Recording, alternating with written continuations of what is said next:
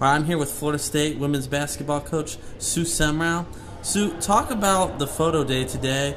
Um, some of the ladies got uh, dressed up, put some makeup on. You've got your all-white warm-up suit on. Talk about today.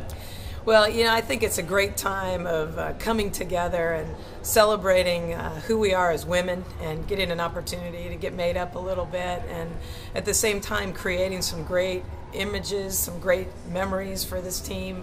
Uh, you know, we use the images in a lot of different ways, and uh, with the professional photography, with Ron Sachs doing what he does for us and his organization, it's just a fantastic opportunity for our program.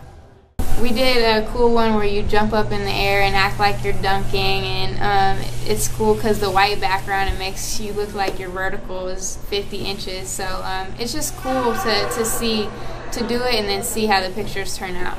I mean, it's fun. I have fun, and then the makeup part of it. I mean, yeah.